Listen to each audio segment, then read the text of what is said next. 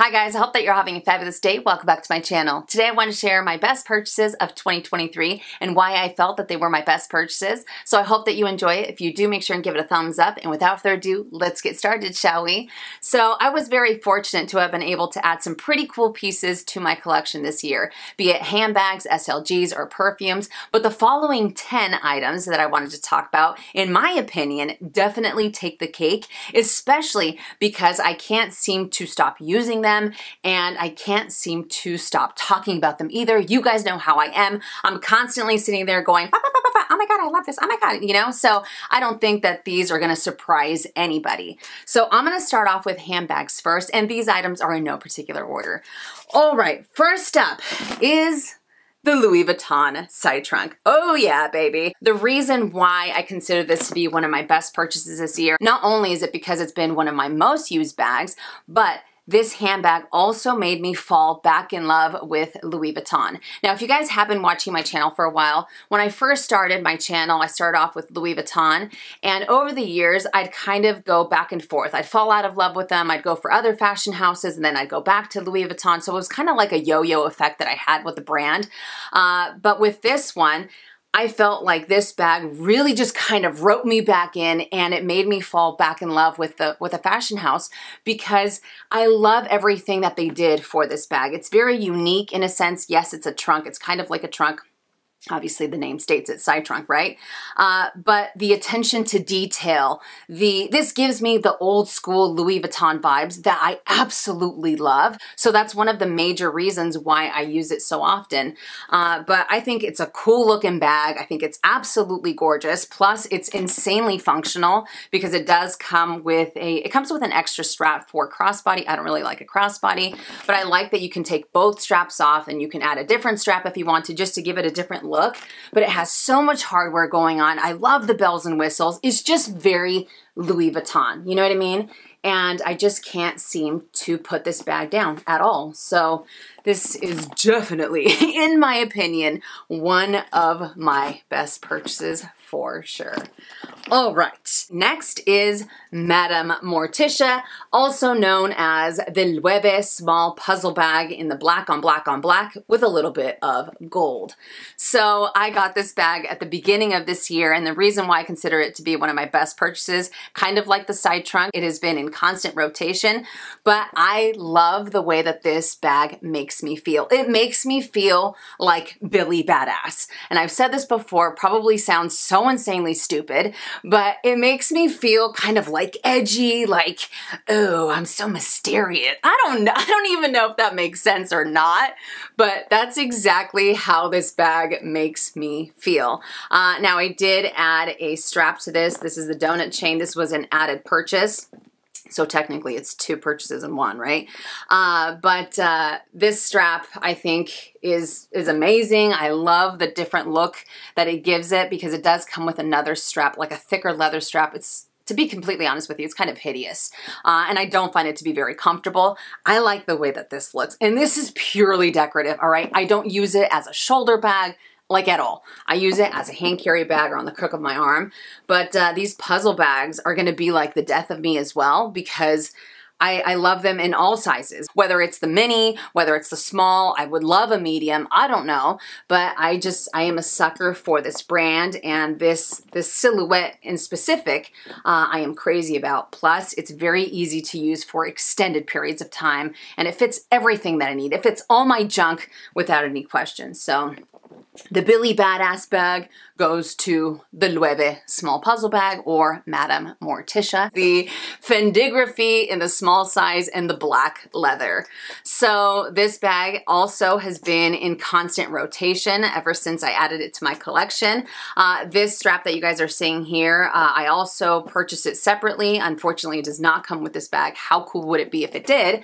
Uh, so this is also kind of like a two-in-one, I guess. It's one of the best purchases I could have ever made. I love this bag. Everything doesn't gravitate towards the middle. It stays in place. Uh, you can carry everything that you need in here and then some. So it's very spacious, even though it is the smaller size. And it is crazy comfortable as well. I don't know, but I think it looks cool. Uh, and best of all, best of all, are these giant letters on the bottom that say Fendi. It's kind of like, what kind of bag is that? Oh, it's a Fendi bag because this is so in your face. And you guys know me, like I'm not, like the, the louder it is, the gaudier it is, the more obnoxious it is, the more I absolutely love it. And this is perfection in my eyes. I know it's not everyone's cup of tea, but I think that this bag is incredible. Next is another Fendi bag, and that is the baguette in the light pink leather with the gold hardware. I'm actually gonna hold it over here because as you can see, uh, it's getting a little bit darker. But um, I love this bag. I think it is amazing. What I love the most about it is this squishy, delicious, insanely buttery soft leather. My goodness. Uh, I love it so much that if I had the economic possibility to add every single leather baguette to my collection, I absolutely would. That is why I consider this to be one of the best purchases this year. Uh, plus, the color, in my opinion, is absolutely fantastic. Uh, it's kind of like a nudie pink. It's not too pink and it's not too... Um, it's not too beige either. Uh, it's like the perfect mix, and I think that the gold hardware, I mean, just complements it very, very nicely. I've had zero issues with color transfer. I haven't babied it. Uh, I do have it currently stuffed a little bit. Let me take it out so you guys can see it a little bit better. But um, I love the slouch that it has when all my stuff is in here, and you get this little crease. I don't know, but I, I, think it's such a great little bag. And I know that some people aren't fond of it because of the embossing. You can see the, the F's on here, but I really like it. I really like it. And again, this leather, look at, look at, I wish you guys can reach through the camera and just touch this leather because it's insane. Plus, it smells fantastic. Yes, I am a handbag sniffer. I've said this before, a proud handbag sniffer. How can you not sniff your bags?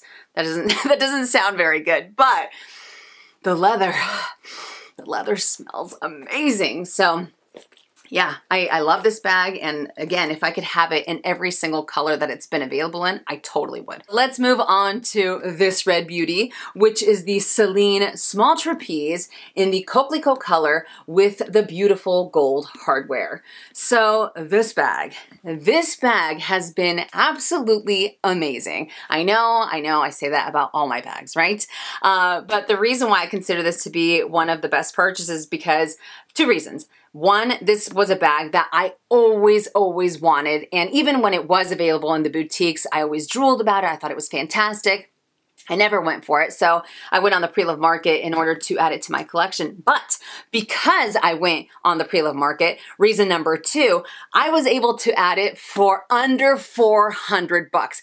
400 bucks for a Celine trapeze. That is insane, especially because of this leather. Celine has such fantastic leather. I've said this before, uh, and this bag is just, it's amazing. It is absolutely amazing. I love the color. I mean, hello, it's red. It has gold hardware. This has my name written all over it. When I was doing research, a lot of people said that they love this bag, but it's very heavy, and I concur because on its own, it's heavy, and when I put all my junk in here, dude, just like other bags that I've talked about in the past, it's like a little mini workout. Look at this, absolutely gorgeous. So yeah, this this had to this had to be on this list, right? Absolutely. Now the next bag, I'm not to talk about it too much because kind of like some of the others that I mentioned in this video, it is also to be in another video. But this silhouette, I have also talked about it over and over and over again over the last few years. So I don't want to give you an earful. You guys have heard me talk about it a million times.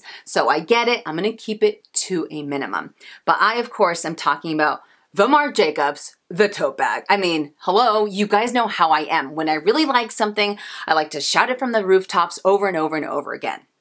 But This is the Marc Jacobs The Tote Bag in the mini size. This used to be called the micro size. I don't know, they've changed the name a hundred times and probably by the time of this recording, they probably changed it again. But as of right now, I know it as the mini size. This is in the cotton leather or the white leather with the silver hardware. This is the white bag that I never knew that I needed. Now, if you guys have been watching my channel over the years, many of you know that for the longest time, I only stuck to like black bags or canvas bags. I, ne I never really ventured into lighter colored bags or even white bags, even though white bags have always been like my kryptonite. I've always absolutely loved them, but I've stayed away from them. Uh, so over the years, um, you know, I started to incorporate a little bit more color. I started to incorporate lighter bags into my collection, uh, and I'm not afraid of them anymore. I'm not afraid of getting color transfer or anything like that. But with this one, for some reason, I just end up gravitating towards it the most out of all of my white bags. And it just makes me feel insanely happy. It's small, but it packs a punch. I mean, it does uh, it does come with a removable adjustable strap that you can use crossbody. I don't really use that. I mostly end up using it with a chain uh, just because I like the way that it looks. But it's small, but it packs a punch. If it's everything that I need, uh, I'd say a little bit more than the bare essentials. You don't have to go like uber, uber small in this either. Uh, but yeah, it just, it, it's so comfortable. It's so easy to use. It's grab and go. Don't think about it. I don't know, but this, this little bag has been absolutely amazing amazing. Um, I think I think that they're fantastic. Absolutely fantastic. Next up is technically a handbag, even though I don't use it as a handbag uh, because I don't think it's functional as a handbag for myself. Uh, I mostly use it as a small leather good, and that is the Louis Vuitton Micro Metis. Now, this is an item that I have said over the over the last few months. It's I mean, some people might say that this was one of the stupidest purchases I could have done because of the ridiculous, the absolutely obnoxious price point that it has, considering the size that this item is, right? I, I mean, I completely see that. I completely see that. Uh, but I have incorporated it so much into my lifestyle. I love using this as a little wallet. I love using it as a little catch-all inside of my other bags. Uh, that way, as a small leather good, for me, it is insanely functional. Uh, now, it does come with a little chain sometimes if I'm doing like a really quick errand, like if I if I ran out of, um, I don't know, if I'm doing like a big old thing for Theo for his food, if I ran out of zucchini, I go to the store, I'll just grab this. My keys fit in here, a lipstick, and then I just have my phone either in my back pocket or in my hand. I know that some people that have like a flip phone are able to fit this in here and then you're able to use it as a handbag. How cool is that? Unfortunately, my phone, even though it's ancient, uh, it is a little bit too uh, too big for this. But yeah, I, I love this. I love this little guy. And I also like the fact that I still have some of the the the, the love, not the love, but I've always been a big fan of the Louis Vuitton Pochette Métis. I had two of them. The third time was not a charm for me, and I close that chapter of my handbag journey. Uh, it's a bag that I will always sing its praises. Uh, but because this is a micro version of it, it kind of allows me to still have the kind of like the, the vibe of the Pochette Métis in my collection. I don't even know if that makes sense or not, but uh, that's another reason why I absolutely love it. I use it everywhere, and every time I bust it out, people are like, oh my god, that's such a cute little bag, that's such a cute little wallet. Uh, I get tons of compliments on it, but stupid price point, 100%. 100%. Next is this beauty. I don't believe I did an unboxing on here. I think I did it on Instagram if I'm not mistaken. But this is the Chanel zip around card holder pouch in the black caviar leather with the champagne gold hardware. So you guys know how I feel about small leather goods. Uh, I am like a moth to a flame when it comes to SLGs, especially card holders and pouches. And the fact that this is both, this is like the perfect marriage of both, makes me insanely happy happy. So I did add it a little bit later on in the year, but I've been using it nonstop. I think it is fabulous, uh, especially because you have the card slots on the back side. You also have a little slip pocket or card, uh, card slot in the front, and then you have a little zip around pouch that you can use for other stuff. I mean, I've used it as like for my key fob, I've used it for house keys, I've used it for uh, like those really small mini lipsticks for cash. Um, I don't know, but it's it's a little bit of both. It's the best of both worlds in my opinion. So yeah, I have my wallet, uh, my wallet essentials here, and then I have the other caca that I want to carry with me in here, you know, and that way I can have a little bit more space in my handbags and I don't have to carry two SLGs. I just have the one. So I, I think that these are pretty cool. You can either go for them in the classic. They also have this with the CC uh, that that's very similar to the Chanel 19, uh, and they're also available in a variety of different colors. Now I will admit that they do have a pretty ludicrous price point as well, even though they are pretty versatile and they are pretty functional, especially with the way that I use them into, or the way that I use them in my lifestyle. Uh, I believe I paid either I want to say it was either 800 or 825, somewhere along those lines. Uh, so I just want to share that just in case because I know that on the secondhand market they're selling them for a lot more.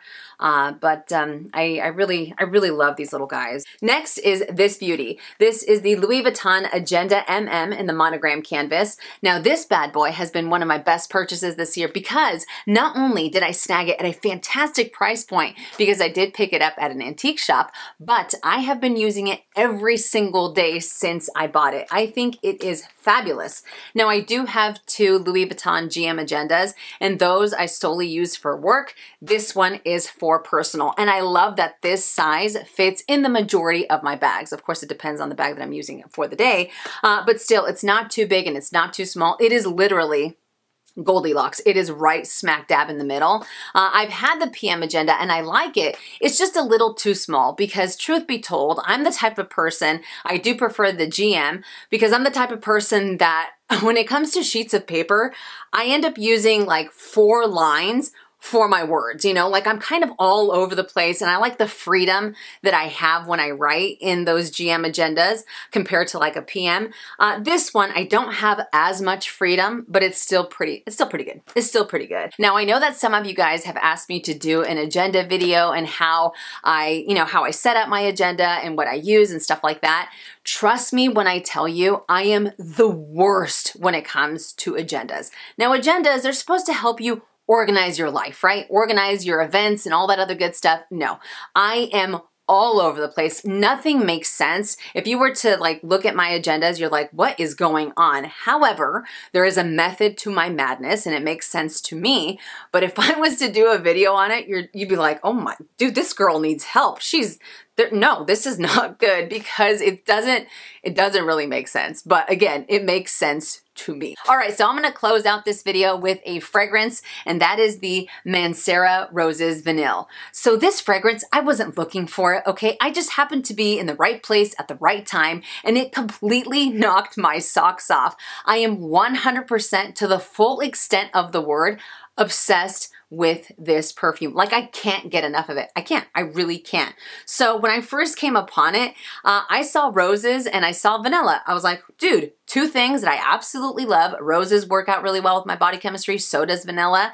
Upon smelling it, eh, I was completely wrong because to me, in my opinion, it doesn't smell like either. Like you couldn't pay me to find those notes in this fragrance. Uh, and you guys have heard me say this before, but I kind of feel like I'm a drug dog. Like I can smell absolutely everything. And even then, I still can't smell roses or vanilla. Now, to me, this, oh my God, this fragrance, oh, I wish there was like smell-o-vision or something so you guys can smell how fantastic this is. But to me, this smells very cedary, very leathery, kind of musky. Uh, almost to the point of being somewhat masculine, not too much, but yeah, it just, it has those notes and surprisingly, they work out with my body chemistry, which is kind of crazy because usually those notes don't do well with me, like at all. They usually smell like, uh, like hot garbage, but no, it smells really, really good. I mean, it has amazing, amazing like staying power. If I spray it on at five o'clock in the morning, I still have it on at 10 o'clock at night it's not too much. It's not overwhelming. It doesn't give me a headache. One little spray goes a long, long way. And if I could bathe in this fragrance, I absolutely would. Like this to me is the type of fragrance that it kind of reminds me of someone that's in a smoke-filled room and they're out in the corner and you're kind of like, "Ooh, what what going on over there? Are they are they cool? Are they are they nice?" Like you don't you can't read that person, you know? That's what this fragrance is to me. Uh, I don't know, but when I wear it, I feel kind of I, I don't even know what the hell I'm doing with my shoulders, but I feel kind of like pumped when I wear this fragrance, but it, I don't know, man. It makes me feel incredible and it smells, in my opinion, fantastic with my body chemistry. But um, I'm obsessed. I'm absolutely obsessed. And this is the type of perfume that I would buy backups for backups for backups, kind of like what I've done with the um, uh, Dolce & Gabbana L'Imperatrice, because that one I've had multiple bottles. That's what I want to do with uh, with this Mancera. And it doesn't have a crazy price point either. I think it comes in at either 180 or 185 and it's four, uh, four ounces, which isn't too bad uh, considering it is a niche fragrance. So anyways, that does it for this video. My goodness, I know that I got a little bit of a chatty Cathy thing going on there and I went on some tangents, but you guys know, you know how I am, you know how I roll. I can talk until the cows come home, especially when it's about things that I absolutely love. But I would love to know what were some of your best purchases this year. If you want to, let us know in the comment section down below. But I love you guys to the moon and back. I hope that you enjoyed it. I hope I was able to give you a little bit of information on each of these items, especially if you're looking to add them to your collection. But if you enjoyed it, make sure and give it a thumbs up. If you haven't already and you'd like to, please subscribe to my YouTube channel, and I'll see you guys in my next one. And as always, make it a fabulous day or not. The choice is yours. Have a great day.